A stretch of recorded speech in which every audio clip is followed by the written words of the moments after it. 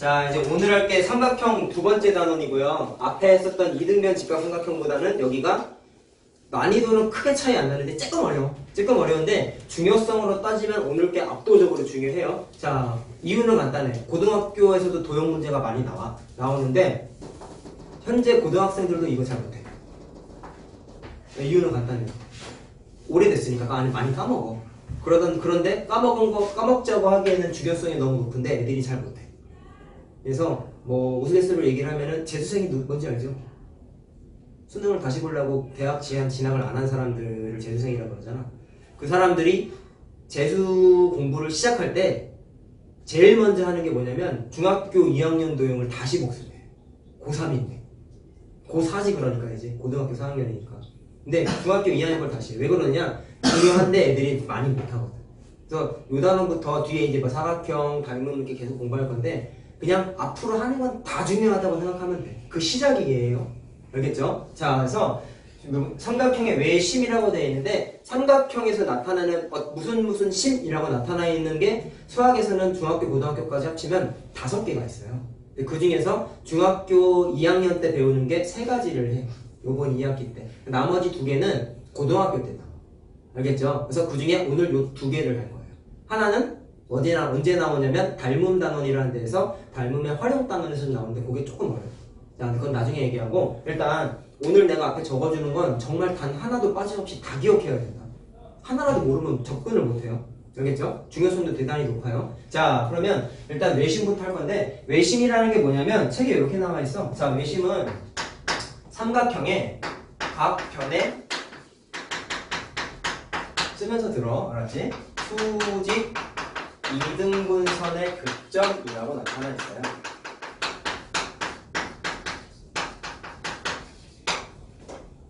자, 그럼 이게 무슨 얘기냐? 그림을 한번 그려보고 특징까지 다 하나씩 확인해 볼 거예요. 자, 삼각형이 이렇게 하나 있어.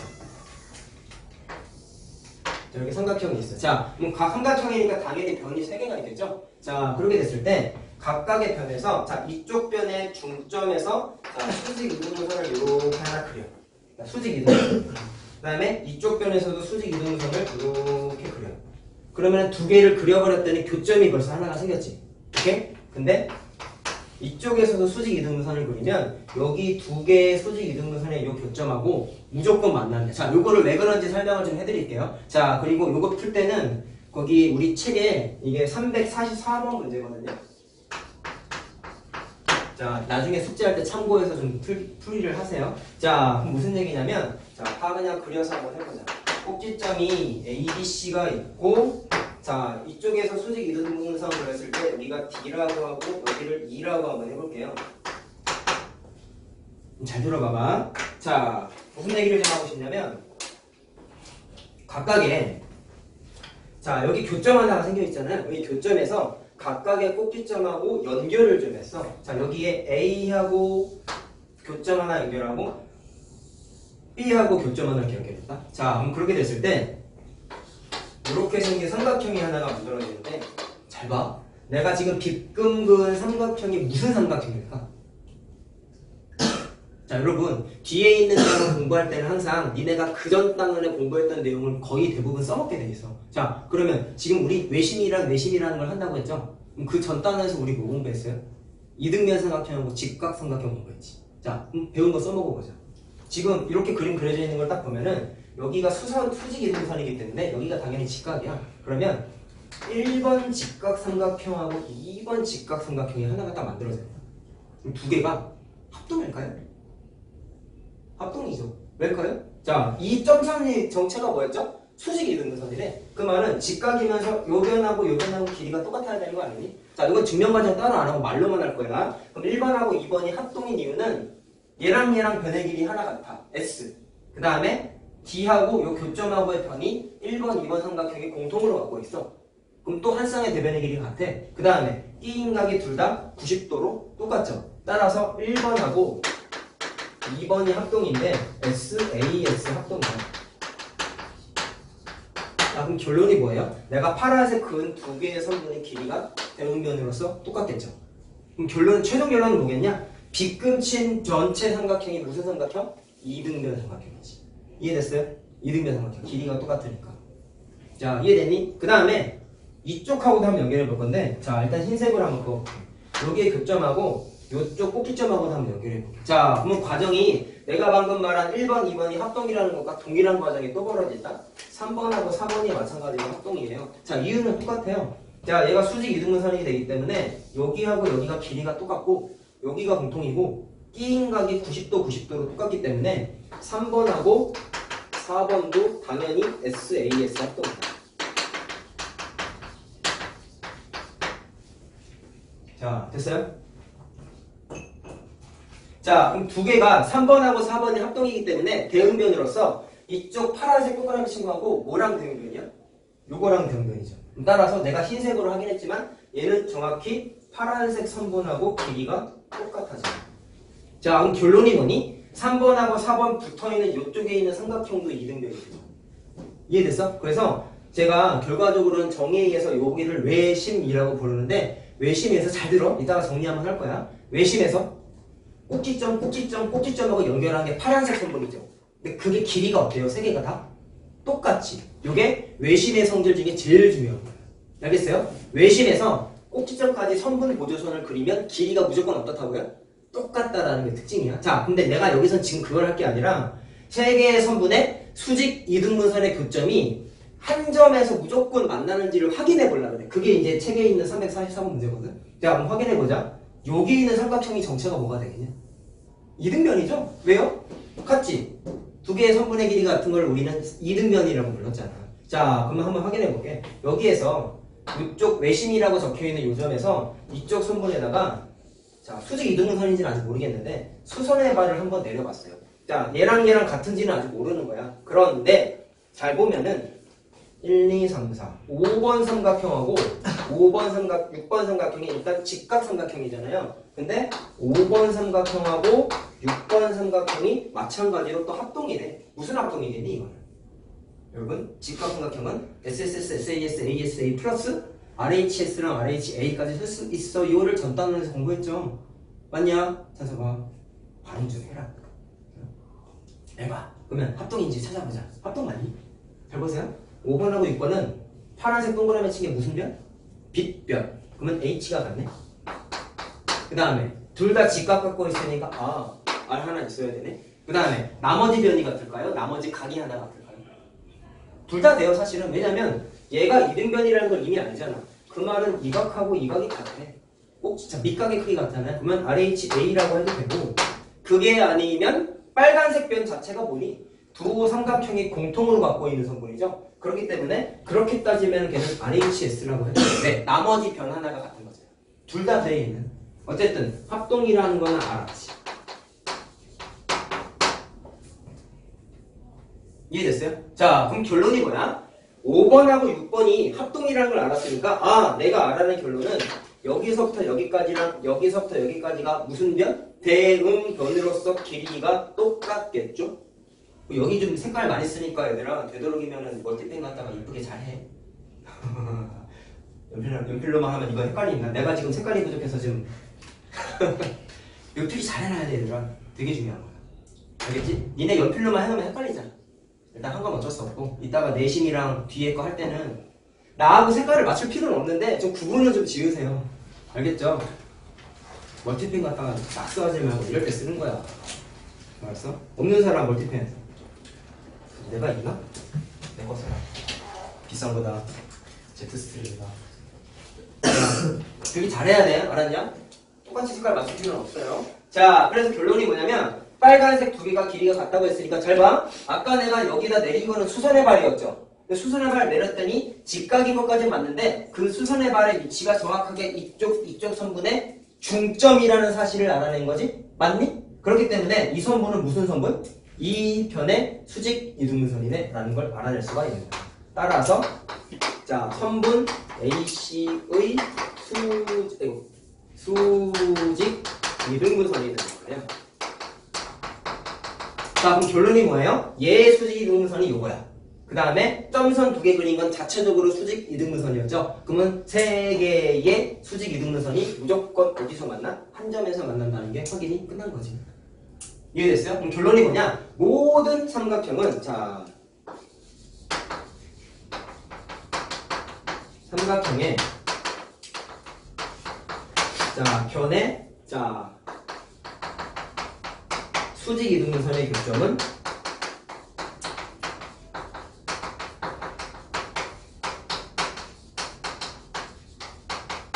수직 이동선은 아, 말을 잘못했다. 저는 한 점에서 만난다.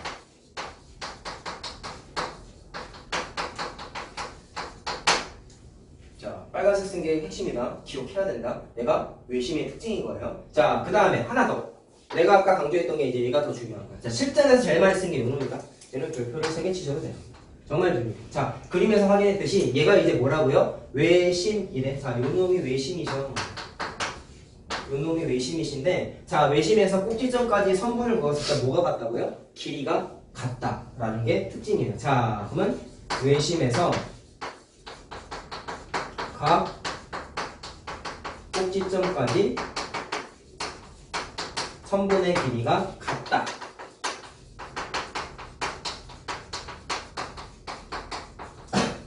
자, 실전에서 제일 요는 반드시 기억해야 된다. 외심에서 각각의 꼭지점까지 선분 파란색 길이 무조건 같아. 왜 같은지 한번 확인해 볼래? 자, 다 쓰면 하자. 쓰세요.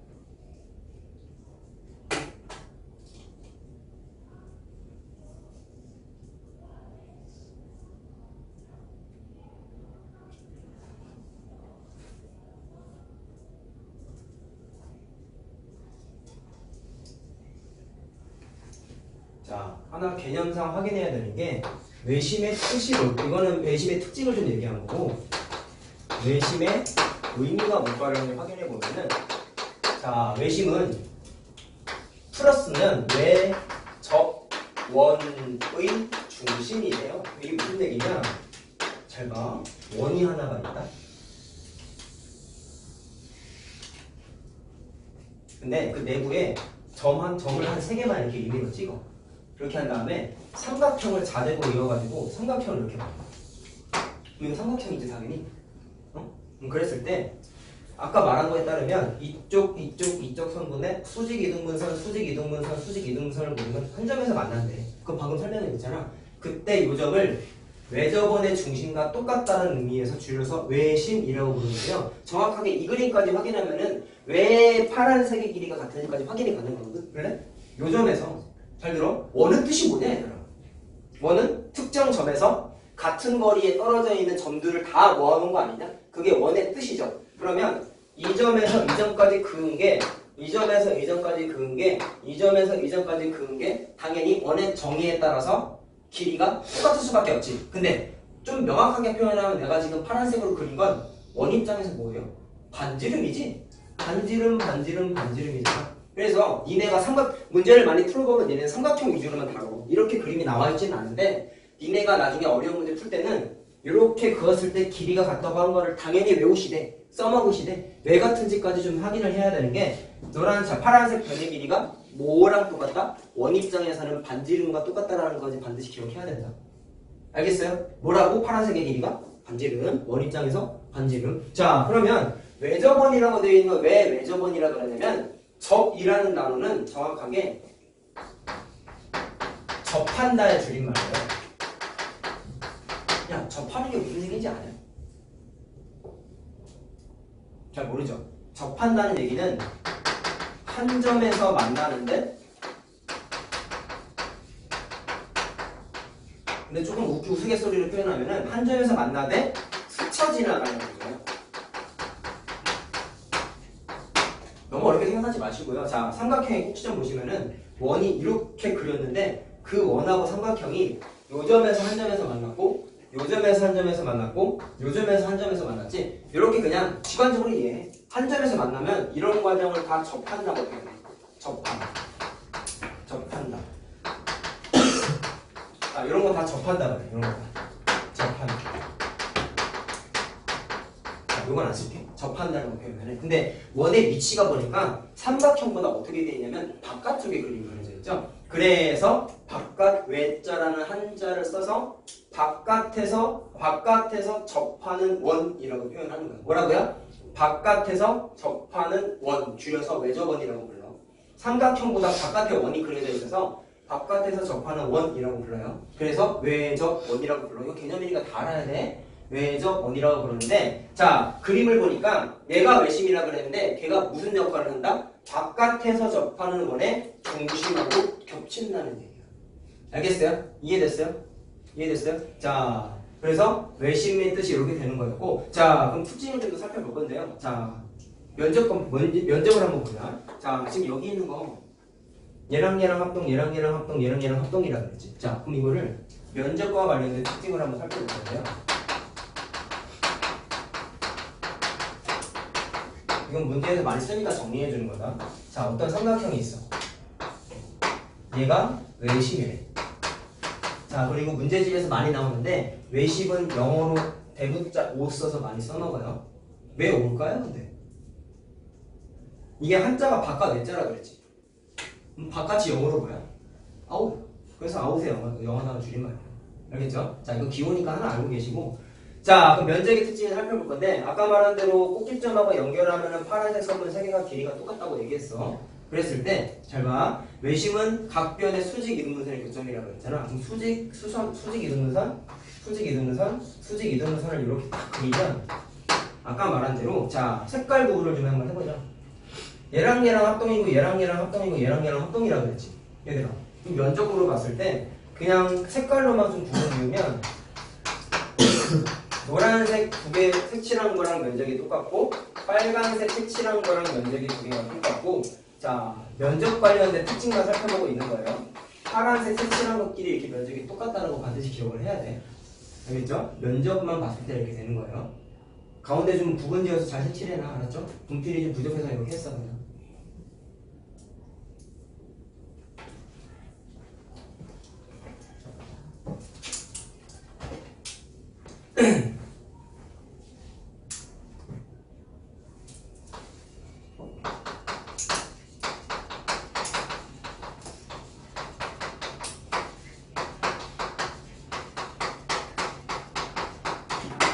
자, 그 다음 거 한번 해보자. 자, 내가 지금 설명한 게 보니까, 아, 외심은 외접근의 중심이고, 수직이 동분선의 교점이구나, 라는 것까지 확인을 했는데요. 좀 재밌는 게 뭐냐면, 지금 내가 그림 그린 게 전부 다 외심이 다 어디 있냐면, 삼각형의 내부에 있단 말이야. 얘도 내부에 있어. 얘도 내부에 있다고 내가 그려놨는데, 자, 항상 내부에 있는 게 아니에요. 자, 뭐를 그러냐면 삼각형에서 외심의 위치를 좀 살펴보려고 하는데 잘 봐. 우리 여러분 삼각형의 모양을 좀 구분 지으면 어떤 삼각형, 어떤 삼각형, 어떤 삼각형이 있을까요? 이등변 삼각형, 직각 삼각형 이런 거 말고 각의 입장에서 봤을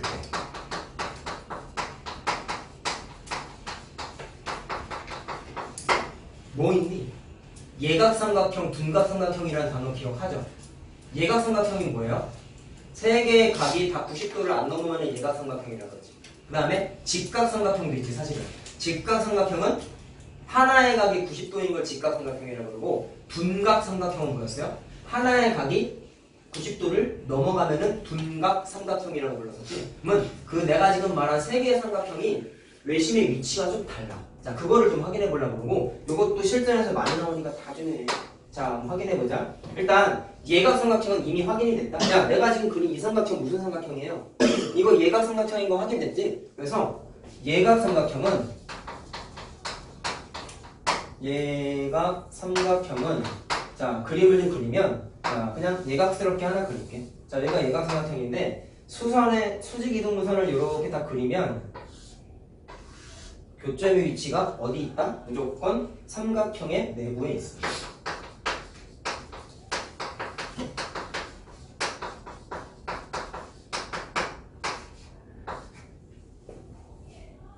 자, 이거 철저하게 알고 있어야 돼. 그 다음에 둔각 말고 직각 먼저 할까요? 직각삼각형 그려보자. 직각삼각형 이렇게 생긴 애지. 자, 직각삼각형이잖아.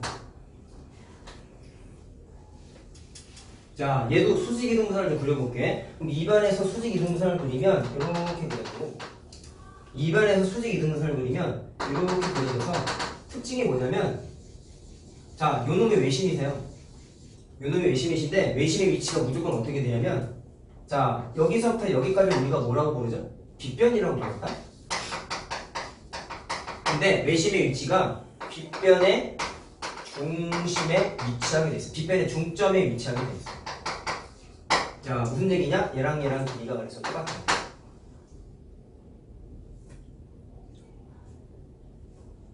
자 알겠니? 그 다음에 둔각 삼각형은 그럼 어떻게 될까? 자 둔각은 이렇게 한번 그려볼게. 자 이렇게 생긴 애를 우리가 보통 둔각 삼각형이라고 부르죠. 자 각도가 90도보다 넘어가요. 얘도 수직 이등분선을 하나씩 그려보면은 이쪽 선분에서 수직 그리면 자 이렇게 되고요. 그 다음에 이쪽 선분에서 수직 그리면 이렇게 되죠.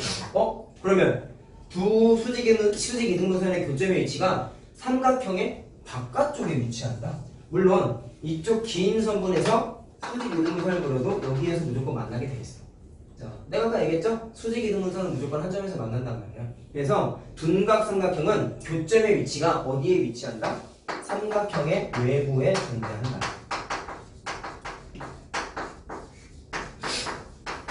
자, 이건 그냥 그림 그려서 확인한 거다. 증명까지는 좀 힘들고요.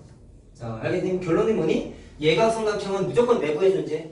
둔각 삼각형은 외부에 존재. 그리고 직각 삼각형은 빗변의 중점이 무조건 뭐라고? 직각 삼각형이에요. 셋 중에 실전에서 정말 더 중요한 거는 별표 중에 얘가 더 별표야.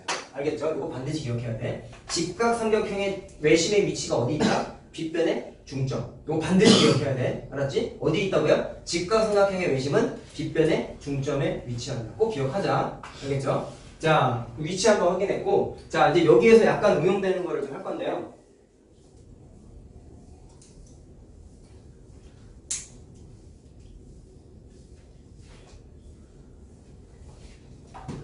자, 응용.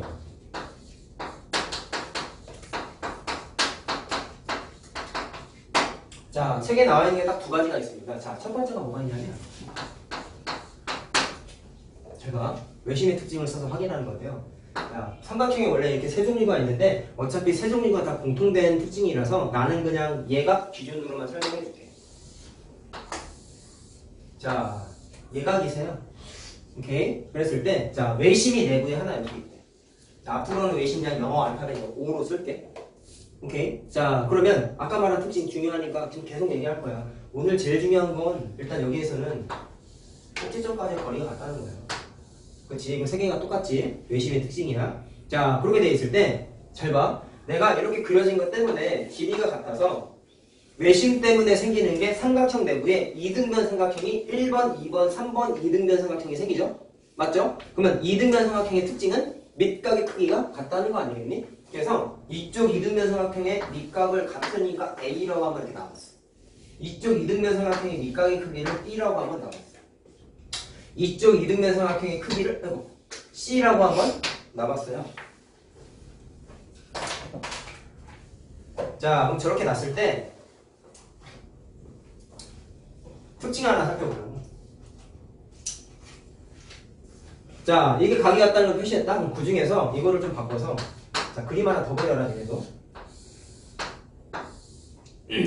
자, 요분이 의심이셔. 그래서 길이가 같대. 길이가 같대. 자, 이렇게 그리고 나서 여기 보니까 A, A, B, B, C, C 두 개씩 그렸지? 그럼 그 중에서 하나씩을 지워버릴 거야. 여기에 있는 A 하나만 쓰고, 여기에 있는 B 하나만 쓰고, 여기에 있는 C 하나만 써볼게요. 이건 사실 외울 필요가 되게 중요한 공식이냐라고 봤을 땐 이건 되게 중요하지 않은데 각 관련된 문제 풀 때 유용하게 쓰이니까 그냥 정리해 드리는 거야. 자, 잘 보세요. 요 그림에서 보시면은요. A 두 개, B 두 개, C 두 개를 그려놨는데요. 그러면 A, A, B, B, C, C가 전체 삼각형에서 봤을 때는 이거 더한 거랑 이거 더한 거랑 이거 더한 게 엄연히 뭐야? 전체 삼각형의 내각이죠. 맞아요? 그럼 그게 무슨 뜻이냐면 A를 두 개 더하고 B를 두 개 더하고 C를 두 개를 더하면 뭐가 돼야 돼? 내각의 총합인 180도가 돼야 돼. 너무나 당연한 거라고 있는 거죠. 어떻게 보면은 그럼 그거를 이용해서 요 그림에 좀 적용을 하면은 여기에 있는 A 하나, B 하나, C 하나씩 빼먹은 거지. 그러면 여기에서 A 하나, B 하나, C 하나 빼먹었다고 생각을 하면은 이게 2로 묶이니까 무슨 원리가 나오냐면 A 더하기 B 더하기 C가 90도라는 성질이 나타나. 무조건 90도가 돼. 외심일 때. 외심일 때. 자, 그러면 그 그림을 어디다가 적용하냐면 요 그림에다가 그대로 적용할 수가 있다라는 얘기야. 알겠어요? 자, 그래서 그림이랑 같이 외워야겠다. 식만 외우면 안 된다. 자, 그래서 이등변 삼각형이 생겼는데 이등변 삼각형에 굳이 이걸 굳이 이름 지으면 뭐가 되겠냐? 이등변 삼각형의 하나의 밑각, 하나의 밑각, 하나의 밑각의 크기의 합인 거죠. 이해됐어요? 좀 써줄게. 각각의 이등변 삼각형에 하나의 밑각의 두 개가 아니야. 밑각의 크기의 전체 합. 가몇 도라고요? 90도가 된다는 특징이 있어요. 자, 외우셔야 돼요.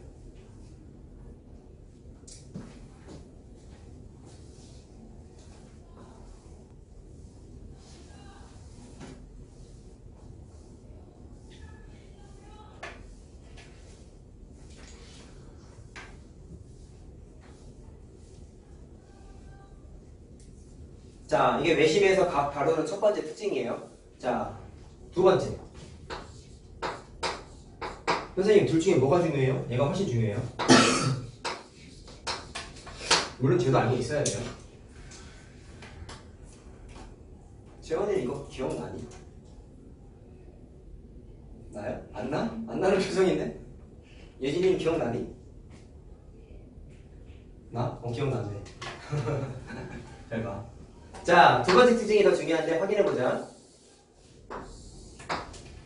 자, 똑같이 얘도 그림을 좀 그릴 건데, 잘 봐. 여기 외심일 때, 외심이래. 자, 이번엔, 아까 내가 파란색 변을 세 개 그렸지, 이번에는 두 개만 그릴게. 요렇게. 이렇게. 자, 그럼 당연히 두 개 길이 똑같죠? 그쵸? 오늘 하는 거 단 하나도 빠짐없이 다 기억해야 돼, 얘들아. 알았냐? 숙제하면서 복습하세요. 조회수 보니까 또 조회수가 안 올라가 있어. 공부 안 하지 또. 응? 공부 좀 해라. 자, 봐봐. 자, 이렇게 돼 있는데 특징이 있는데 얘는 결론부터 얘기하고 확인을 좀 해볼게. 여기에 있는 각의 크기를 자, 여기 꼭지점을 이번에 한번 써보자. 얘를 각 A라고 했을 때 얘들아 자, 요 부분 있죠? 자, 여기에 있는 각의 크기를 공식으로서 쉽게 알 수가 있대. 그게 뭐냐면 여기에 있는 각을 편의상 자, 각 BOC라고 한번 해볼게요. BOC의 각의 크기가 어떻게 구할 수 있냐면 여기에 있는 각 A의 두 배다라는 관계식이 있어요. 자, 여기에 있는 각의 두 배를 하면 돼. 뭐라고? 여기에 있는 각에다가 곱하기 2를 하면 무조건 내가 된대. 외심일 때 특징이야. 자, 이것도 외워야 돼. 자, 왜 그런지 확인해보자. 그냥 외우는 건 안 돼. 그리고 얘는 증명 과정도 중요해. 자, 확인 과정도 중요해요. 처음 배우는 거니까 확실하게 해야 되더라. 대충 하고 넘어가면 재수생들 꼴 나는 거야. 잘 못한다니까 여기. 잘 봐. 안 어려운데요? 지금이 안 어렵죠. 나중에 하면 더 헷갈려요. 니네 위에 한 3학년 애들쯤만 돼도 외심하고 내심하고 구분 지어봐 하면은 의외로 대답 못하는 애들이 많아. 알겠냐? 진짜 중요해요. 자, 확인을 해볼 건데 쟤랑 그림을 똑같은 걸 그릴 거야. 자, 외심이래. 여기가 외심이야. 잘 들으세요? 뭐가 중요하냐면 자, 이 빨간색 선분이 중요하다. 이 빨간 여기에서 이쪽 외심하고 있는 보조선을 이렇게. 자, 이분이 뭐라고요? 보조선. 자, 문제 풀 때 아주 중요한 선물입니다. 자, 기억하셔야 됩니다. 자, 증명할 때 이런 보조선을 그렸다는 게 중요한 거야. 뭐랑 뭐랑 연결했어? 나머지 꼭지점하고 외심을 연결한 보조선을 그렸어요. 자, 해봐. 그러면 외심은 이등변 삼각형 3개가 만들어진다고 아까 공부했잖아. 그럼 잘 봐. 편의상 여기를 A라고 하면 여기 A가 되지. 맞냐? 여기가 이등변이잖아. 그 다음에 여기를 B라고 하면 여기가 B가 되지. 자, 이해되니? 이등변이라서 밑각의 크기가 같다는 걸 표시한 거예요. 자, 그럼 어떻게 되냐면 잘 들어. 얘들아. 저번에 이등변 삼각형, 직각삼각형 설명했을 때 물론 요번 학년도에 요번 학년에 그 우리가 공부하면서 배웠던 거를 써먹긴 했지만 삼각형의 각을 다루는 입장에서 압도적으로 많이 쓴 성질은 뭐였어?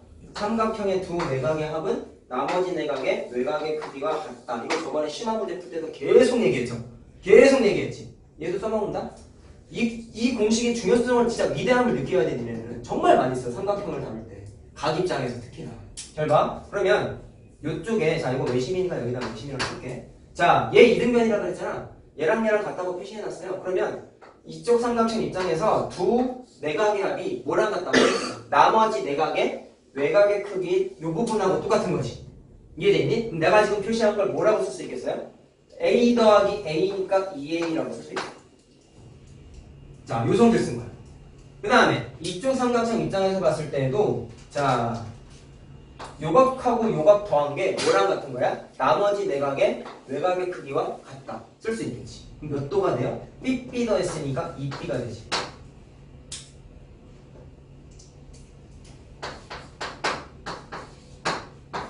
야, 그럼 비교해 볼래? 잘 볼래? 여기에 있는 각 BOC가 몇 A가 된 거야? 2A 더하기 2B 된 거 알겠어요? 자, 그래서 더하면 2 괄호 묶고 A 더하기 B 이렇게 되죠? 이까지 묶어봤어요. 자, 묶은 이유가 있습니다. 잘 보세요. 위에 있는 각 A 이 부분 있죠? 각 A가 그림을 보니까 뭘로 구성되어 있어요? small a랑 small b로 구성되어 있는 거 맞니? 그래서 각 a의 크기는 small a랑 small b 더한 거야. 자, 근데 위에 줄하고 아래 줄하고 비교해볼래? 여기에다가 뭐 곱하면 위에 게 돼? 2 곱하면 되죠. 곱하기 2를 하면은 위에 있는 각 BOC가 정확하게 되지. 그래서 결론이 뭐냐면 BOC가 각 A의 두 배와 같다라는 관계식이 만들어진 거야. 그게 이거죠. 알겠냐? 결론은 외워야 된다. 자, 그림으로 외우셔야 돼요. 여기에 있는 각에다가 곱하기 2하면 여기 밑에 있는 각이 된다. 이건 나중에 3학년 가면은 원주각, 중심각이라는 것도 배우는데 지금 그걸 할 수가 없어. 할 수가 없어서 그림으로 외우셔야 돼요. 알겠죠? 여기에 있는 각에다가 곱하기 2를 하면은 이쪽에 생긴 새로운 각의 크기를 편하게 구할 수 있다. 반드시 외우셔야 돼요. 저거보다 이가 더 중요해. 알겠죠? 자, 그리고 증명 과정에서 이 보조선을 그린다는 것도 중요해요. 알겠죠? 꼭 기억하셔야 돼요. 자, 이게 이제 외심의 성질 다 했어. 자, 이제 내심만 하면 돼요. 다 써니발 쓰자. 쓰고 나서 뒤에 거 할게요. 그림 잘 그려놔야 돼요. 오늘 하는 거 다 중요합니다.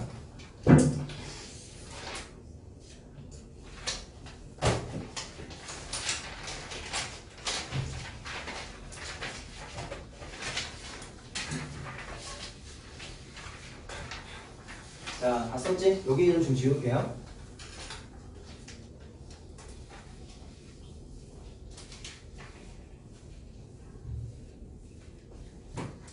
자, 이제 내심을 한번 해볼 건데, 내심도 똑같은 거죠, 오늘. 자, 내심이 어떻게 만들어지냐면, 아까는 선분의 수직의 이동분선이었다? 이번에는 각의 이동분선.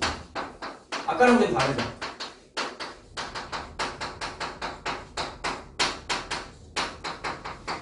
자, 아까는 선분의 수직 이동분선인데, 이번엔 각의 이동분선.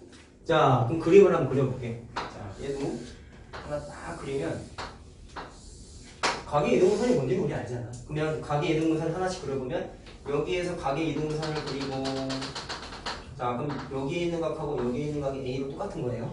각의 이동선이니까. 그 다음에 이쪽에서 각의 이동선을 그리고 이렇게 딱 그렸더니 자 아까랑 마찬가지로 각의 이동선 자 이동선을 두 개 그렸더니 교점이 무조건 하나가 생겨. 그럼 여기에 있는 점을 이제 앞으로 뭐라고 부르겠다는 거야? 내심이라고 부르겠다는 건데 자 이것도 확인 한번 해볼 건데요 자 여기가 가계 이동분선이니까 여기는 삐삐라고 하고 똑같이 써놨다 가계 이동분선이야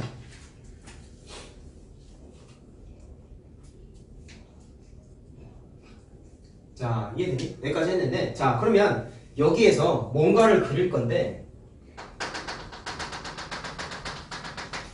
이 문제 자, 여기서 말한 거에 따르면 내가 지금 빨간색으로 그린 것도 이쪽 각의 이등분선이 돼야 되는 거지. 근데 내가 지금 여기는 각의 이등분선이라고 하고 그린 거고 얘는 아직 뭔지 몰라. 근데 요 놈이 각의 마찬가지로 이등분선인지 확인 한번 해보자. 자, 확인하고 있는 거. 자, 이 문제는 아 이 문제는 다. 얘는 그 책에 나와 있나? 아, 책에 있군요. 자, 이건 책에 있는 360번 문제 참고해서 이따가 나중에 숙제할 때, 자, 참고해서 한번 작성해 보세요. 잘 봐. 자, 앞에서 배운 것도 써먹을 거야, 얘들아. 잘 보세요. 자, 얘도 색깔 구분 잘해놔. 이쪽 각의 수, 이쪽 각의 이등분선을 내가 노란색으로 그릴게. 한 번 더 그려도 상관없다 얘들아. 삼각형 한 번 더 그려도 돼요. 상관없어요. 자, 이렇게 노란색으로 그렸으면 노란색이 이등분선이지 얘들아. 좀잘 들어. 앞에서 직각삼각형 할 때. 자, 얘도 앞에서 배운 거 써먹을 거예요. 직각삼각형 할 때 내가 자 이건 안 써도 된다. RHS, RHA 공부하면서 맨 마지막에 이런 거 있었다. 각의 이등분선을 딱 그렸어. 각의 이등분선이 그렸고 거기 위에 점 하나를 딱 찍었어. 그랬을 때 니네가 외워야 되는 게 뭐라 그랬지? 이쪽 각의 이등분선의 임의의 점에서 각각의 선의 수선의 반을 내리면 노란색의 길이가 서로 어땠어요? 똑같았죠? 기억합니까? 선생봐 기억해 안 해? 하지? 이거 두개 무조건 같다고 내가 잘 나오니까 외우라고 했잖아 맞냐? 각의 이등분선의 임의의 점에서 양쪽에 있는 변에 수선의 발 내리면 길이가 무조건 같다고 얘기했죠 이거 RHA 합동이었어 두 개가 위에 있는 직각삼각형 아래에 있는 직각삼각형 RHA 합동이었어요 자 보세요 얘가 각의 이등분선이라며 자 그러면 각의 이등분선 각의 이등분선 해가지고 여기 흰색 교점 하나 생겼잖아 그럼 여기 교점에서 잘 봐 이쪽 이, 이 각을 만들고 있는 요 선분하고 요 선분에 수선의 발을 이렇게 내리면 수선의 발을 이렇게 내리면 자, 요 길이랑 요 길이랑 길이가 무조건 어때? 같아. 요 성질에 의해서. 이해됐니? 같아. 자, 잘 들어. 그 다음에 이쪽에 있는 애도 얘는 파란색 각의 이등분선이라고 한번 해볼게. 자, 그럼 얘도 각의 이등분선이니까 차별하면 안 되잖아. 요 각의 이등분선 파란색 입장에서 봤을 때 요 교점도 파란색 각의 이등분선 위에 있는 점이죠. 그럼 그 위에 있는 점에서 이 각을 만들고 있는 이 선분하고 이 선분에다가 마찬가지로 수선의 발을 내리고 수선의 발을 내리면 이 파란색 두 개가 길이가 어때야 돼? 같아야 되지. 같아야 돼. 어? 이렇게 해봤더니 무슨 일이 벌어졌어요? 노란색 수직 이등분선과 아 수직 노란색 수선 노란색 수선이 파란색 수선 파란색 수선하고 어디에서 겹쳐? 여기에서 겹치지. 이해됐냐? 얘랑 얘랑 같대. 얘랑 얘랑도 같대. 그 말은 무슨 얘기야? 노란색 각 노란색 수직이 아 수직이 등산이래. 노란색 수선 노란색 수선이 결과적으로는 파란색 수선하고 똑같다라는 결론이 내려- 내려졌지. 자, 그럼 결론이 뭐냐? 잘 봐. 자, 이거를 알파벳을 좀 써야겠다. A, B, C.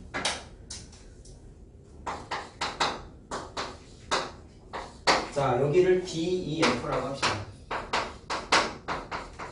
자, DEF는 수선 내린 거다. 수선의 발이다. 자, 그럼 내가 방금 말한 거에 의하면 사, 저 노란색 입장에서 자, 여기는 내심이니까 그냥 I라고 할게요. 자, 이따가 얘기하자, 그거는. 자, 변 DI하고 변 FI하고 자, 각의 이등분선이기 때문에 길이가 같다고 했고요. 그 다음에 파란색 입장에서 봤을 때 DI하고 자, 이 I하고도 어때? 길이가 같다고 각의 이등분선이기 때문에 자, 그러면 얘랑 얘랑 같고 얘랑 얘랑 같대. 그럼 무슨 얘기야? 얘랑 얘랑 자, 얘랑 얘랑 얘랑 얘랑 같으니까 따라서 뭐랑 뭐랑 같아? FI와 EI가 길이가 같다라는 관계식이 나타나지. 자, 뭐랑 뭐랑 같다고요? FI와 EI가 길이가 똑같아. 알겠어, 여기까지? 자, 그럼 여기에서 일단 나타나는 특징 하나. 첫 번째는, 잘 보세요. 얘가 이제 결과적으로 내심인데, 내심에서, 자, 이것도 철저하게 외워야 되는 거야. 그림에서 이렇게 확인을 해보니까, 부분에다가 이거 지금 수선의 발을 내린 거잖아. 맞냐? 그럼 수선을 내렸을 때,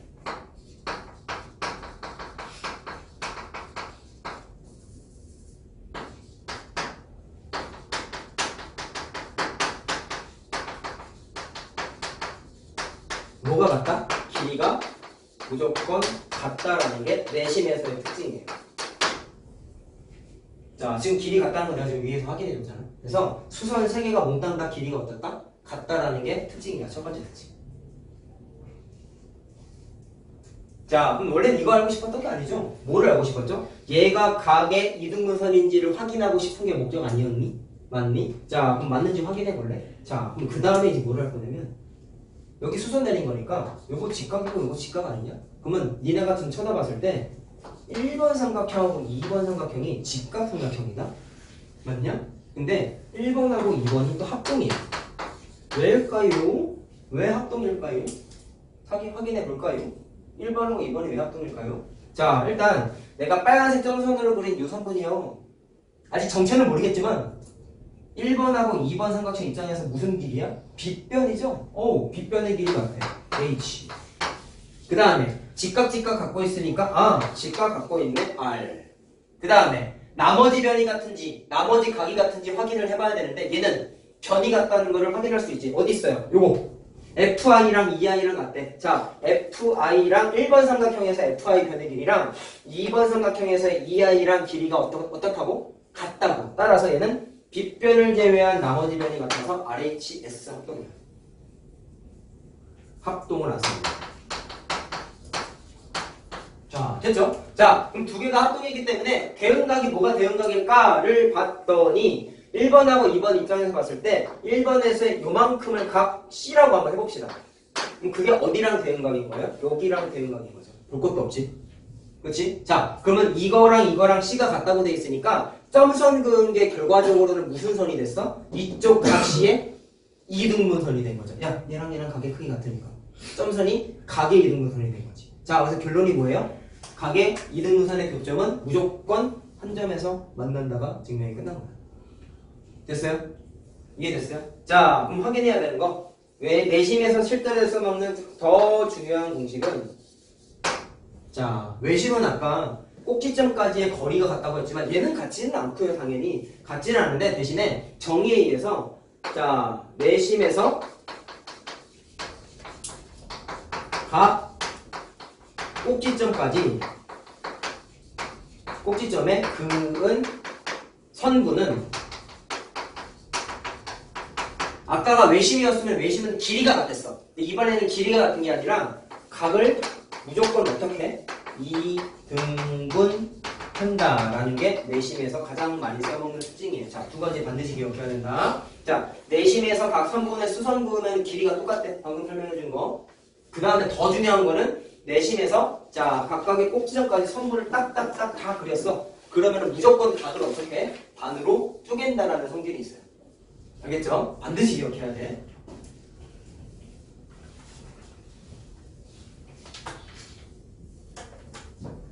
자, 자, 그럼 얘도 내심이 아까 외심과 마찬가지로 각에 있어서 또 특징이 있는데, 자, 내심의 음영. 얘는 내용이 좀 더 많아. 얘가 위대해서라기보다는 특징 때문에 그런데, 자, 아, 이거 말고 미안하다. 내심의 위치 한번 확인해봐야 돼. 미안. 아까 외심의 위치가 예각일 때, 직각 삼각형일 때, 둔각 삼각형일 때마다 위치가 좀 달랐죠? 근데 얘는 어떨까? 그림 한번 그려볼래? 이건 오, 오늘만 하고 앞으로는 안 할 거야. 잘 봐. 예각 삼각형 한번 그려볼게요. 자, 니네 입장에서는 되게 좋은 거야. 잘 봐.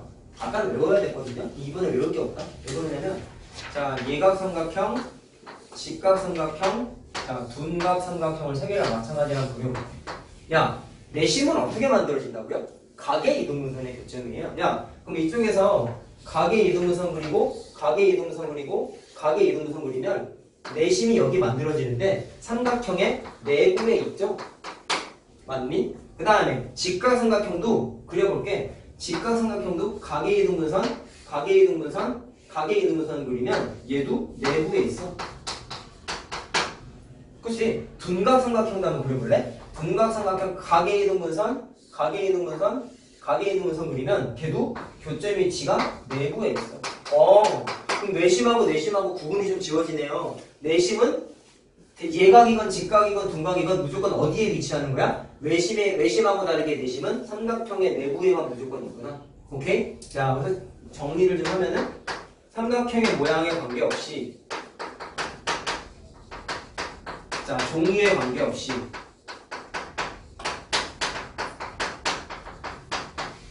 어디에 있다? 삼각형의 내부에 위치한다.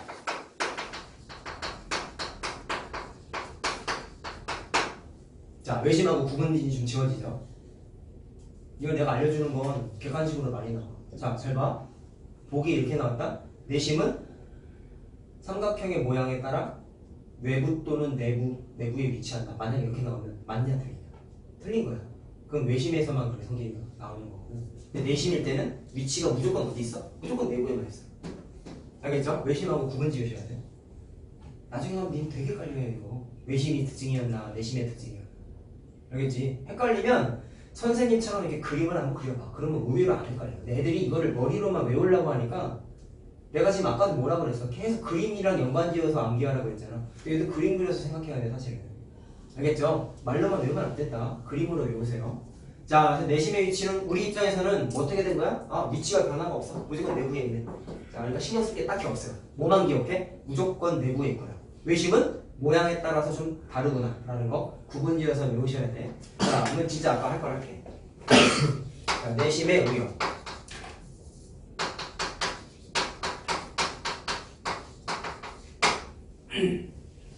자, 각을 좀 다루려고 합니다. 자, 그림을 또 아까 마찬가지로 두 개를 한번 그려볼게요. 자, 얘도 특징이 똑같기 때문에 예각 하나만 그래서 확인 한번 해볼게요. 자, 내부에 내심이 있고, 아, 그리고 내가 이거 i라고 쓴 거. 자, 이 i 기호가, 아까 내가 외심은 5라는 영어 알파벳 썼지? 이유가 뭐였죠? 바깥 외자 써가지고 아웃 영어다가 줄인 거야. 근데 내심은 i라고 했죠? i는, i는 뭐냐면, 내는 안 넷자 한자 단어예요. 그래서 안이라는 뜻이 인이라서 인 줄여서 i라고 한 거야. 수학 기호니까 알고 계셔야 돼요. 알겠죠? 자, 그리고 하나 더 좀 더 확인해야 될 게 있는데, 지금 아까 말한 게 내심에서 각 3분의 수성분 했을 때 길이가 같다고 했지. 실제로 왜 그런지 한번 확인해 볼래? 자, 보세요. 무슨 얘기냐면, 자, 내심이 만들어지는 게 각의 이등분선의 교점이라고 했잖아. 이거 그렸냐, 혹시? 그린 사람. 안 그렸지? 그렸냐? 이거랑 이거 사이에 공간이 있냐? 필기 공간? 있어요? 자, 제주값 필기해 알았지? 많이 안 쓸 거니까. 자, 왜 이게 길이가 간다, 같다고 돼 있냐면, 자, 내심이 각의 이등분선의 교점이, 교점에서 만들어진다고 했잖아. 근데 내심 자체가 뜻이 뭐냐면, 아까 외심은 뭐의, 뭐의 줄임말이었죠? 외적원의 중점이었지? 근데 얘는 내적원의 중점이야. 중심이야. 이거 줄임말이 내심이에요. 자, 그럼 실제로 그림을 한번 그려보면 어떻게 되냐면 하나만 그릴게. 자, 삼각형이 이렇게 있다고 쳤을 때 자, 아까 내가 접하는 게 뜻이 뭐라 그랬어요? 한 점에서 만나는 걸 접하는 거라 그랬다? 근데 아까 외심에서의 삼각형, 아까 그림 이거였지? 아까는 삼, 원이 이렇게 있을 때 삼각형 입장에서 봤을 때 원이 바깥쪽에 있어서 바깥 외자를 써서 외심이라 그랬어요. 근데 이번에는 내심은 반대야. 아까는 원이 삼각형 바깥에 있었지만 이번에는 삼각형 내부에 원이 있어. 무조건. 자, 그러면 원을 하나 그려볼게. 자, 이렇게 해가지고 요점이랑 요점이랑 요점에서 아까랑 마찬가지로 외접원도 삼각형하고 각각 한 점에서 이렇게 만났단 말이야. 근데 내접원도 삼각형하고 각각 한 점에서 만나 이렇게. 알겠어요? 접했다는 뜻 때문에. 자, 그러면 그 삼각형 입장에서 봤을 때, 자, 아까 내가 특징 한번 보자. 내심에서 각 변까지에 뭐가 같다고요? 자, 수선의 길이가 똑같다고 그랬지. 왜 같냐면 이 원에서 반, 반드시 뭐가 있냐면 원의 중심이 있지 않겠어요? 오케이? 그랬을 때 무슨 얘기를 하고 싶냐면 자, 이 원에서 이 접점에다가 이점 찍은 데다가 이렇게 이렇게 하나를 그리면 이 노란색이 원 입장에서 무슨 길이냐? 반지름이죠. 반지름 R, R, R이란 말이야. 근데 걔가 잘 들으세요. 자, 이거 아까 이거 얘기 안 하는데 자, 잘 봐. 얘랑 얘랑 어, 길이로 봤을 때 원 입장에서는 반지름이고 얘가 정의에 의하면은 내저번의 중심이라서 이거를 요점을 내심이라고 아까 얘기하지 않았어? 기호로 i라고 쓴다고 i라고 쓴다고 얘기했단 말이야. 그랬을 때 길이가 같은 이유가 단순히 그 수선 내린 것 자체가 뭐랑 똑같다? 반지름하고 똑같기 때문에 뭐의 반지름이요? 삼각형 안에 있는 무슨 원? 내저번하 내저번의 반지름하고 똑같기 때문에 반지름으로서 길이가 같아서 그냥 어, 삼각형 입장에서 봤을 때에는 각각의 변에다가 수선 내리면 길이가 그냥 똑같아져요. 야, 아까 외심 한번 다시 한번 생각해 볼래? 외심은 중요한 특징이 뭐였죠? 외심에서 꼭지점까지 선분을 그으면 길이가 어땠어요? 똑같았지. 근데 그 길이가 같은 게 이유가 뭐였어? 외접원에서 봤을 때 걔가 뭐랑 같았어? 반지름이었잖아. 그럼 얘도 길이가 왜 같다고? 길이가 왜 같다고? 내접원 입장에서의 반지름이라서. 오케이. 이것만 이것만 보면 어때? 의미가 똑같죠? 원의 반지름의 역할을 하기 때문에 길이가 똑같아. 어? 그러면 하나 나타나는 게 있다? 뭐를 알 수 있냐면 자 이거 그냥 안 하고 넘어가려고 했는데 잘 봐. 음, 이거 좀 지우자. 이거 설명하려고 했는데 아까 이거 이거 이거 같다고 한 게 지금 성분하고 무슨 관계였어요? 수직 관계였지? 그럼 그 말에 따르면 이 반지름이 각각의 성분하고 무조건 수직 관계야. 근데 이게 지금은 좀 설명하기가 곤란한데 아까 접한다는 개념 자체가요 원이 이렇게 있을 때 어떤 성분이 한 점에서 이렇게 만나면 여기를 이거를 의미상 접한다라고 아까 내가 말한 대로 표현을 해. 한 점에서 만나면 접한다. 근데 특징이 뭐냐면 이게 지금 원의 일부분이거든요. 그럼 원의 중심이 당연히 하나가 있겠지. 자, 이거 좀 직관적으로 외워야 돼. 정- 이게 증명하는 게 사실 있는데 지금 지금 하기는 좀 그럴 것 같아서 그냥 외우고 넘어가자. 원의 중심이 있죠. 그러면 접했을 때 요 점을 우리가 뭐라고 그러냐면 접하는 점이라고 줄여서 접점이라고 해요. 접점이야, 접점. 외워야 돼. 접점인데 거기에서 원의 중심에서 접점을 이렇게 이으면 자 내가 지금 파란색으로 그린 게 원 입장에서 뭐냐? 반지름이지. 반지름이지. 자, 근데 그 반지름이 무조건 이 접하는 성분하고 무슨 관계를 갖냐면 수직 관계를 갖게 되어 있어요. 이거 좀 외우셔야 돼요. 자, 뭐라고요? 반지름과 자, 이 접하는 성분 이걸 뭐라 그러냐면 접하는 성분의 줄임말인 접선이라고 불러. 반지름과 접선은 무조건 무슨 관계냐면 수직 관계. 자, 이걸 외워야 돼. 수직 관계. 나중에 시간이 나오면 내가 한번 확인, 확인시켜줄게. 왜 수직 관계인지. 이게 좀 어려워요. 설명해줄 때. 막 직접 증명법, 간접 증명법 막 이런 거 얘기하면서 하는 게 있는데 지금 하기에는 조금 무리수가 있는 것 같아서 그냥 외우고 넘어가자. 대단히 중요한 의미, 증명은 아닌데 얘는 중요해가지고 그래서 써주는 거예요. 자, 알겠어요? 자, 다시 문제 여기로 돌아올게. 그럼 결론이 뭐냐면 자, 내심에서 수선 내림비 길이가 같은 이유는 뭐 때문에? 내저번 입장에서 뭐랑 똑같다? 반지름과 같기 때문에. 오케이? 반지름과 같기 때문에 꼭 기억하셔야 돼요. 자, 그럼 진짜 할 걸 할게 이제. 자, 진짜 응용할게요. 선생님이 좀 순서가 꼬였어. 미안해. 자, 그럼 진짜 내심의 응용을 한번 해보자. 자, 아까 외심에서 각 관련됐을 때 그림 두 가지 종류를 내가 해줬지? 그거랑 연결 지어야 되는데 구분 지을 것도 있고 겹치는 것도 좀잘 외우셔야 돼요. 자, 첫 번째. 자, 삼각형이 있어. 자, 안에 내심이 있어요. i라고 쓴다고 얘기했지? 자, 그랬을 때 꼭지점하고 선분을 마찬가지로 아까처럼 세 개를 이렇게 한번 그려볼게. 자, 그럼 내가 지금 그은 자 색깔 부분 좀색 지워볼까? 파란색 으로 하자. 아까랑 구분 지어야 돼? 파란색의 길이가 같아요? 내심은 아니야? 같은 거 아니야? 내가 지금 파란색을 그린 이 선분은 무슨 선분이다? 전부 다 각의 이등분선이에요. 그것 때문에 내가 지금 같은 색깔로 칠한 것 뿐이야. 길이가 같진 않아. 외심은 길이가 같은데 내심은 길이가 같지 않아. 자, 그랬을 때 각의 크기가 자, 얘, 얘, 얘가 다 각의 이등분선이라고 했으니까 이쪽 각을 A, A로 똑같은 각으로 쪼갰다고 치자. 여기를 B, B라고 쪼갰다고 치자. 여기를 C, C라고 쪼갰다고 한번 쳐보면 뭐를 좀 알아낼 수 있느냐? 잘 보세요. 전체 삼각형에서 봤을 때 내각의 총합은 A 두 개, B 두 개, C 두 개 더한 거 아니냐? 아까랑 식이 똑같아서 2A 더하기 2B 더하기 2C가 3, 아이고 180도라는 관계식이 되잖아. 그치? 자, 그럼 이거 양변에 2도 약분되죠? 아까랑 식이 똑같아요.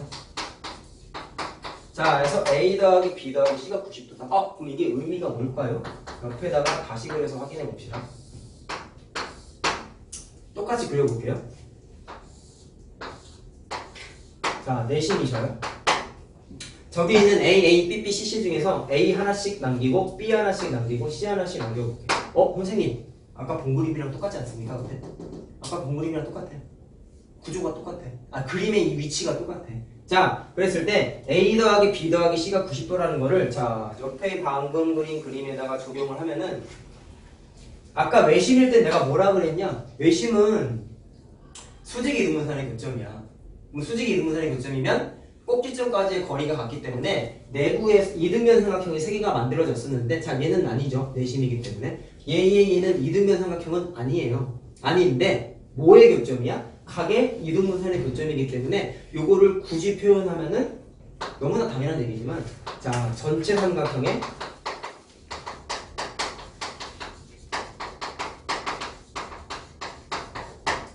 네 각의 자 A랑 B랑 C가 각각의 각의 절반들이잖아 절반 절반의 합이 무조건 몇 도가 된다? 90도가 된다라는 성질을 표현하고 있는 거예요 자 이게 식으로만 보면 그래서 외심하고 내심하고 똑같아 근데 구분을 그래서 그림으로 구분 지으라고 자 이게 만약에 자 옆에다가 다시 한번 그려볼까? 조그맣게 그릴게 아까 외심은 이렇게 돼 있었어요 아까 외심도 그림 이렇게 있었다? 아까 내가 이렇게 그려줬다? 얘는 외심이다? 구분 지어야 돼. 지금 현재만 봤을 때는 O하고 I를 지워버리면 똑같은 그림이지. 근데 의미하는 바가 다르단 말이야.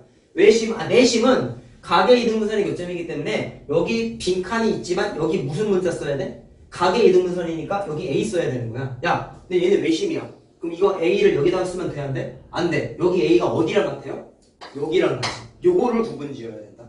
알았냐? 지워버리고 지워버리고 지워버리면 똑같은 그림이야. 근데 이게 여기가 내심이냐 외심이냐에 따라서 A가 어디로 오는지가 의미가 다르다고. 이거를 반드시 구분 지어야 돼. 알겠어요? 니네 틀리는 게 이거 구분 못 지어서 틀려. 그럼 어떻게 구분 지을래? 내심의 특징 기억하면 되지. 내심은 뭐의 교점? 각의 이등분선의 교점. 그러면 여기가 A면 아 여기 A네. 나중에 니네가 문제 풀 때 써먹으면 되는 거야. 알겠어요? 다 중요해요 여기는요 여러분. 알겠어요? 자, 얘는 외심은 각의 이등분선이 아니니까 여기다가 A를 쓰면 안 되고 자, 외심일 때는 삼각형 세 개가 몽땅 다 이등변 삼각형이라고 얘기했지? 그렇기 때문에 여기 있는 A가 밑각으로서 여기가 A를 갖구나라고 반대로 찾아줘요. 알겠습니까? 구분 지어야 돼요. 문제 풀어보면 감아. 알았죠? 자, 어쨌든 이거 하나 외우셔야 되고 두 번째, 얘도 마찬가지로 두 번째 게 조금 더 중요해요.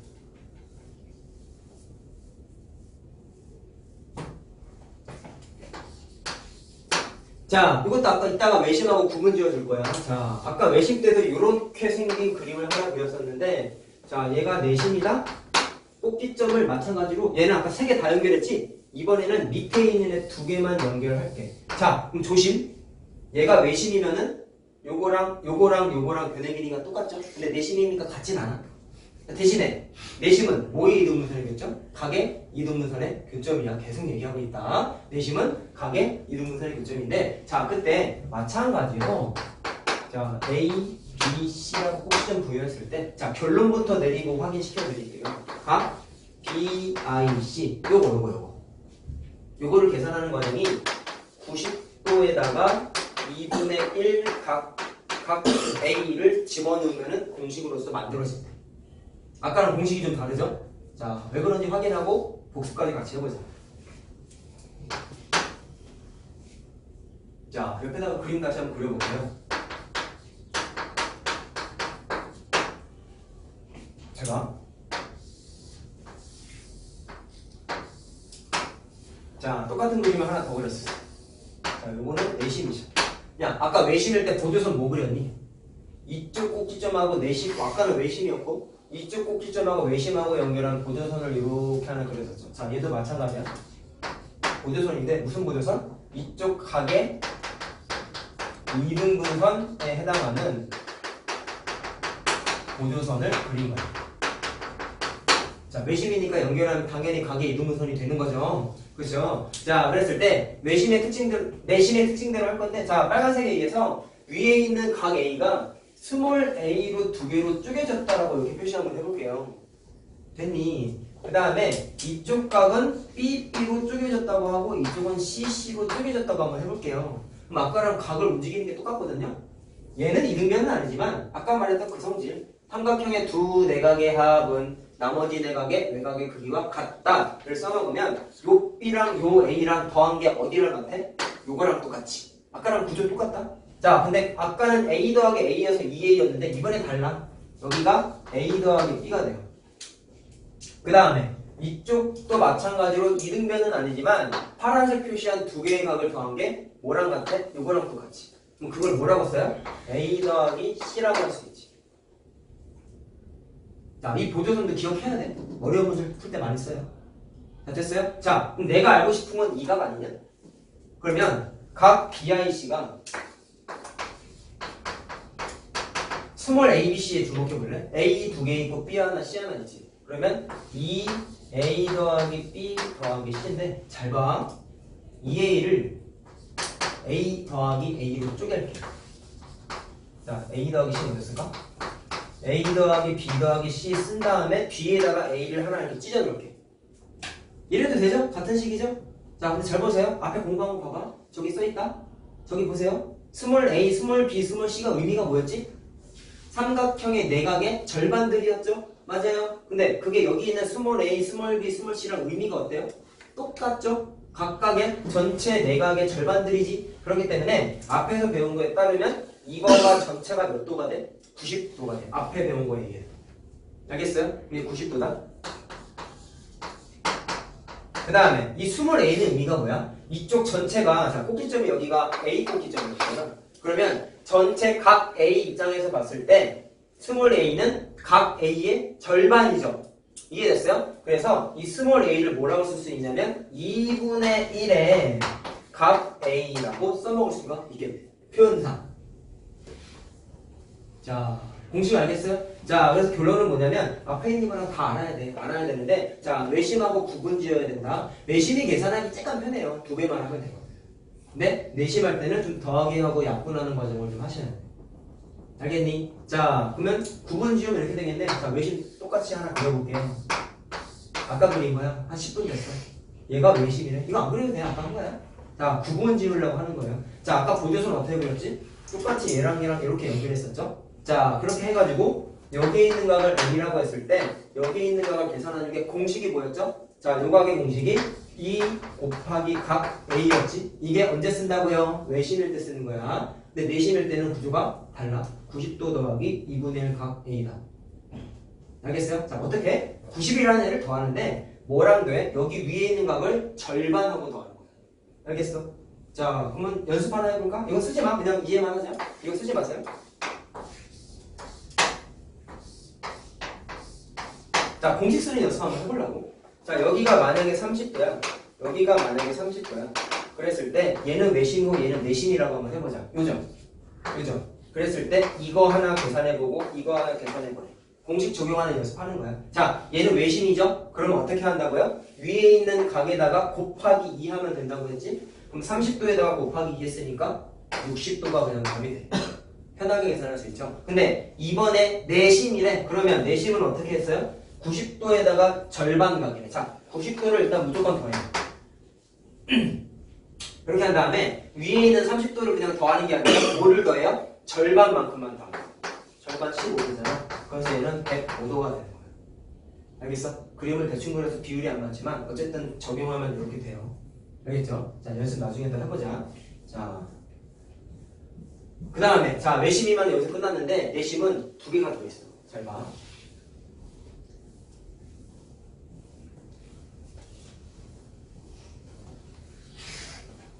자 계속 얘기하고 있지만 오늘 하는 거 진짜 하나도 빠짐없이 다 알아야 돼. 알았죠? 자 세 번째. 잘 보세요.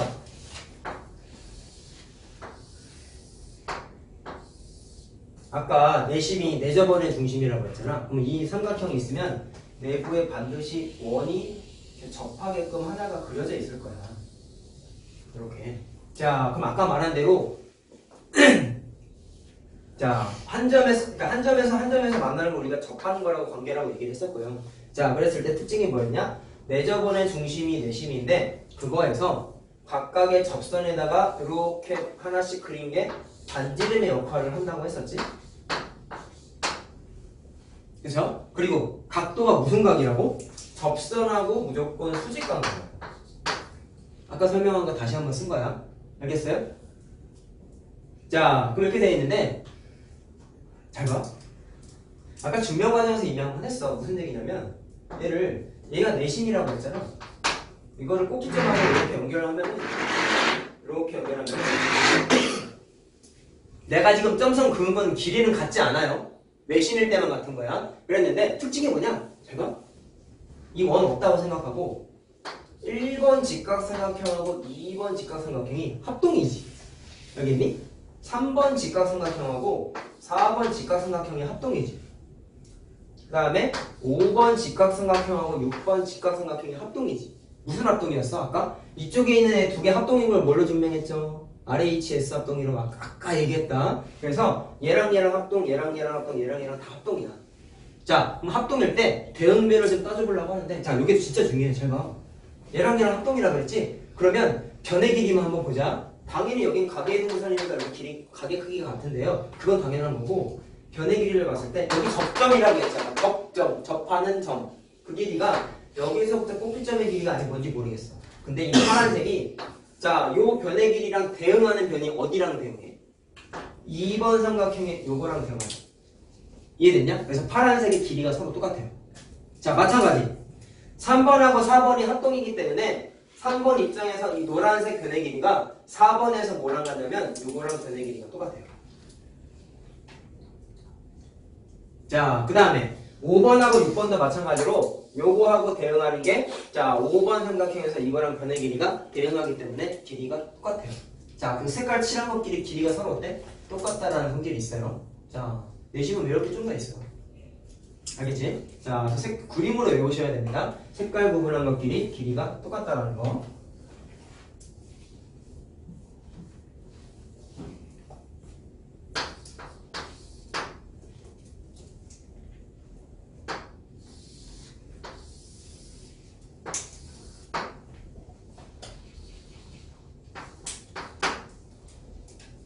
자, 마지막이에요. 자, 요거 하자. 자, 얘는 성질인데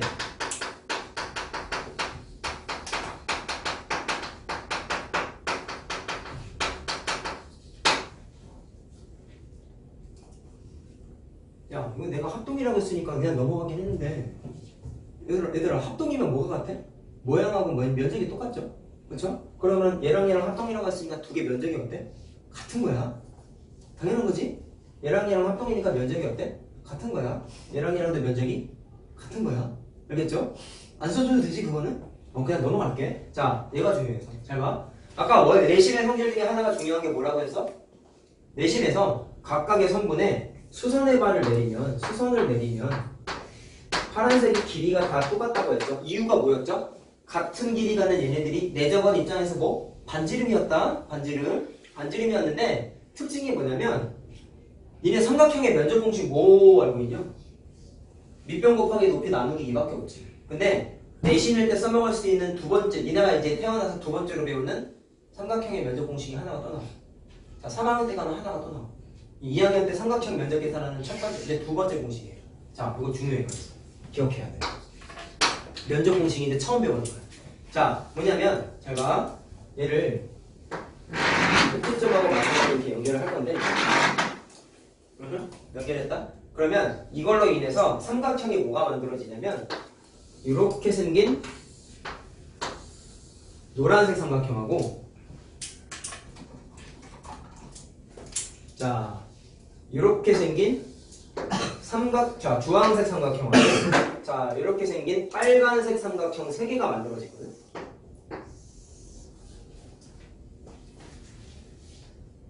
자, 내가 지금 노란색, 주황색, 빨간색은 이등변 아니지? 그냥 삼각형이야. 이등변 아니야. 이등변 아닌데, 자, 뭐를 좀 알 수 있냐면, 전체 삼각형의 면적을 S라고 했을 때, 걔가요, 너무나 당연한 얘기를 좀 하고 싶은데, 그 삼각형 전체 면적이 노란색 삼각형 더하기, 자, 주황색 삼각형 더하기, 음, 빨간색 삼각형 세 개를 더하면 되지. 짤까? 잘 써놔.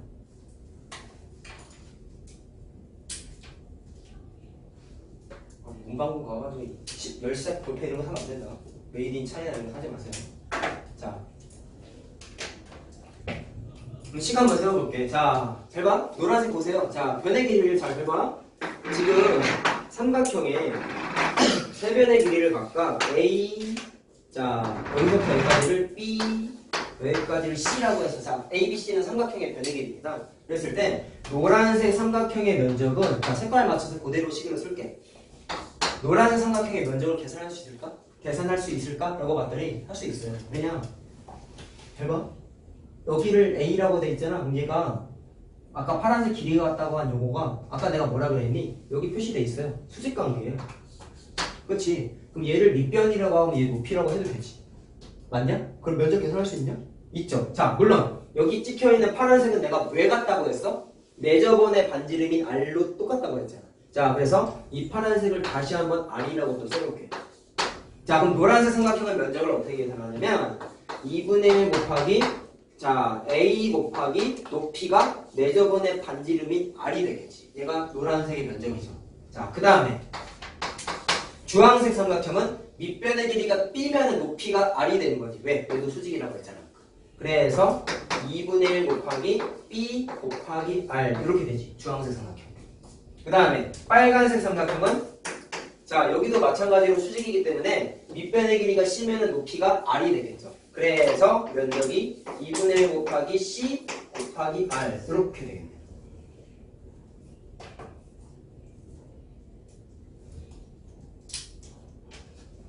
됐어요? 자, 그럼 이거 좀 정리해볼게. 얘들아, 봐봐. 첫 번째, 두 번째, 세 번째 보니까 공통으로 갖고 있는 게 2분의 1, 2분의 1, 2분의 1 똑같이 갖고 있지. R, R, R도 똑같이 갖고 있지. 그래서 묶어내 봤더니 식이 어떻게 정리되냐면 2분의 1 곱하기 R 곱하기 A, B, C 나무네를 순서대로 썼더니 A 더하기 B 더하기 C라고 이렇게 정리를 할 수가 있대. 똑같은 거 묶어낸 거야. 야, 그럼 이거 식을 좀 해석해 볼래요? 2분의 1에다가 잘 봐. 2분의 1에다가 R이 뭐였어요? 네 내저번의 반지름이죠? 네 내저번의 반지름.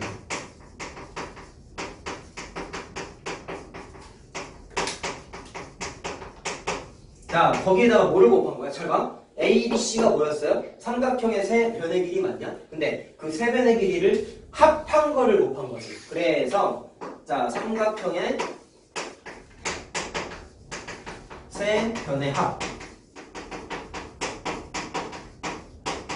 굳이 말로 해석하면 이렇게 되는 거죠. 자, 2분의 1 곱하기 네 저번의 반지름 곱하기 삼각형의 세 변의 합은 합이 뭐가 된다? 삼각형의 면적 계산하는 두 번째 공식이 된다. 자, 처음 하는 거다 오늘 이게 이제 태어나서 처음 보는 거예요. 그렇죠? 자, 꼭 기억하셔야 돼요. 굉장히 대단한 건 아닌데 문제가 엄청 많이 나옵니다. 자, 그럼 응용하는 거 딱 하나만 해보자. 이거 하고 시작. 책에도 나와 있어요. 자, 해볼게요. 예를 들어서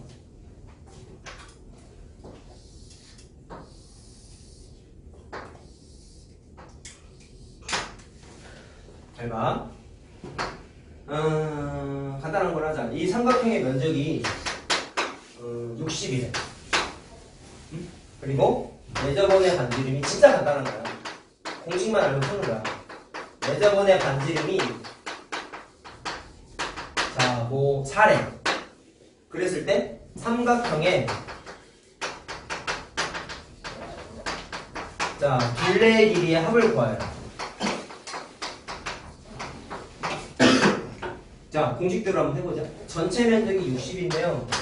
그게 공식이 뭐였어? 2분의 1 곱하기 내저번의 반지름인데 내저번의 반지름 4래. 게다가 자, 삼각형의 세변의 길이의 합이 무슨 의미냐? 둘레의 길이랑 똑같은 거지. 이해됐어요? 그럼 둘레의 길이 모르니까 그냥 x라는 문자를 써가지고 x라고 이렇게 한번 써볼게. 그럼 그게 무조건 뭐가 되는 거야? 공식에 의해서 삼각형의 면적하고 똑같은 거지. 그럼 이거 계산하면 x 나와요 안 나와요? 나오죠? 그럼 2를 넘기니까 x는 30입니다 라고 구할 수가 있어. 이게 시험 문제야. 별거 없죠? 알면 풀 수 있는 거죠. 할 수 있겠어요? 자, 그래서 내외심 개념을 다 했어요. 자, 오늘 한 거만큼은 오늘 숙제 내준 거 할 때 집에서 반드시 한 번 더 봐. 여기 진짜 중요해 얘들아.